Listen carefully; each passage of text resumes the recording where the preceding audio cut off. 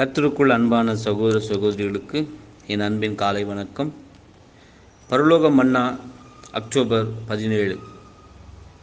அவர் தமது சிறகுகளாலே உன்னை மூடுவார் அவர் செட்டிகளின் கீழே அடைக்கலம் புகுவாய். சங்கீதம் தொண்ணூற்றி ஒன்று நான்கு. யுகோவாவின் பேரில் பக்தியும் விசுவாசம் உள்ளதும் பிள்ளைகள் பிள்ளைகளை அவர் அரவணைத்து தம் அன்பின் அனலை பெறும்படி செய்கிறார்.